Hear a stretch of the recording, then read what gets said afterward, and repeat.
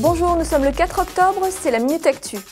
S'il y a des mesures qui sont des mesures qui choquent ou des mesures qui euh, sont de nature à dissuader l'investissement, notamment dans ces jeunes entreprises innovantes, il faudra y revenir.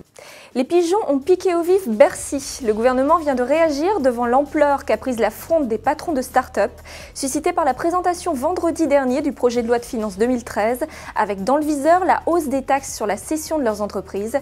Le groupe Les Pigeons, né sur Facebook de ce mouvement, ayant gagné en quelques jours patronat, artisans et contribuables, le ministre de l'économie a reconnu ce matin que si certaines mesures du projet sont mal calibrées, l'État serait prêt à définir d'éventuels amendements au budget 2013. La tension est palpable à la frontière entre la Turquie et la Syrie. Hier, un tir de mortier venant de Syrie a tué cinq civils. La Turquie a répliqué immédiatement avec des bombardements jusqu'à ce matin. Malgré des appels à la retenue, le Parlement turc a approuvé aujourd'hui une loi autorisant des opérations militaires sur le territoire voisin, précisant qu'il ne s'agit pas d'une déclaration de guerre, mais d'un moyen de dissuasion. Marseille sous le choc après la découverte de stupéfiants et d'argent dans les casiers des vestiaires de la brigade anti-criminalité des quartiers nord de la ville. Au moins 20 policiers sont soupçonnés d'avoir volé ou estorqué de la drogue et de l'argent à des dealers.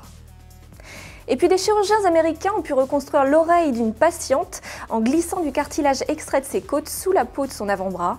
Cette opération de pointe n'est pas une première mondiale, mais les photos diffusées par l'hôpital où a eu lieu l'opération sont saisissantes. Rendez-vous demain, même heure, pour une nouvelle Minute Actu.